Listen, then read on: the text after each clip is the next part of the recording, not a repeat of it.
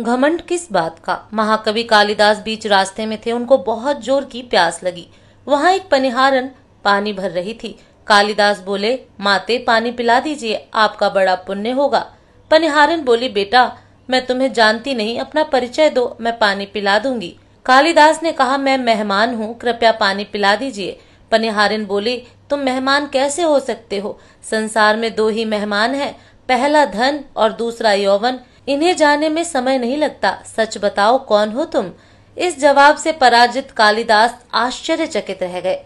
कालिदास बोले, मैं सहनशील हूँ। अब आप पानी पिला दीजिए। पनिहारिन ने कहा, नहीं, सहनशील तो दो ही हैं। पहली धरती, जो पापी पुण्य आत्मा सबका भोज सहती है, उसकी छाती चीर कर बीज बो देने से भी अनाज के भंडार देती है।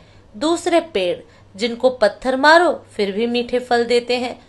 तुम सहनशील नहीं हो सकते। सच बताओ, कौन हो तुम? कालिदास मूर्छा की स्थिति में आ गए और तर्क वितर्क से झल्ला उठे। कालिदास बोले, मैं हटी हूँ। पनिहारन बोली, फिर से झूठ बोल रहे हो। हटी तो दो ही हैं। पहला नाखून और दूसरे केश। कितना भी काटो बार बार निकल आते हैं। सच कहो, कौन हो तुम? कालिदास अपने आप को अपमानित और पराजित हो चुके थे। कालिदास ने कहा, फिर तो मैं मूर्ख ही हूँ। पनिहारिन ने कहा, नहीं, तुम तो मूर्ख कैसे हो सकते हो? मूर्ख दो ही हैं। पहला राजा, जो बिना योग्यता के भी सब पर शासन करता है, और दूसरा दरबारी पंडित, जो राजा को प्रसन्न करने के लिए गलत बात पर भी तर्क करके उसको सही सिद्ध करने की चेष्टा करता है। यह बात सुनने के बाद कालिदास कुछ बोल न सका, और वह इस स्थिति में वृद्धा महिला पनिहारन के पैर पर गिर पड़े, और पानी पीने की याचना में गिड़गिड़ाने लगे। वृद्ध महिला ने कहा, उठो वत्स।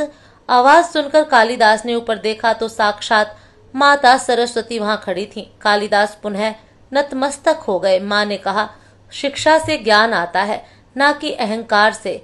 तूने शिक्षा के बल पर प्राप्त मान और प्रतिष्ठा को ही अपनी उपलब्धि मान लिया और अहंकार कर बैठे। इसलिए मुझे तुम्हारी आँखें खोलने के लिए ये सब स्वांग करना पड़ा। कालिदास को अपनी गलती समझ में आ गई और भरपेट पानी पीकर वे आगे चल पड़े। इसीलिए कहते हैं विद्वता पर कभी घमंड ना करें। घमंड विद्वता को नष्ट कर देता है। दो चीज़ों को कभी व्यर्थ नहीं जाने देना चाहिए। अन्न के कड़ को और आनंद के छड़ घमंड किस बात का करते हो? आप निर्वस्त्र आए थे और निर्वस्त्र ही जाएँगे। आप कमज़ोर बनकर आए थे और कमज़ोर बनकर ही जाएँगे। आप बिना धन संपदा के आए थे और इसके बिना ही जाएँगे। आपका पहला स्नान भी आपने स्वयं नहीं किया, और आपका अंतिम स्नान भी आप स्वयं नहीं कर पाएँगे। यही सच्चाई है, फिर किस बात का इतना घमंड, और फिर किस बात की इतनी दुर्भावना, किस बात की इतनी खुदगर्जी, इस धरती पर हमारे लिए बहुत ही सीमित समय है, और हम मूल्यहीन बातों में बर्बाद कर रहे हैं। इसलिए अभी से प्रभु की आराधना में लग जाइए। दोस्तों, वीडियो देखने के बाद वीडियो को लाइक और सब्सक्राइब करना ना भूलें। फिर मिलेंगे दोस्तों, तब तक के लिए जय श्री कृष्णा।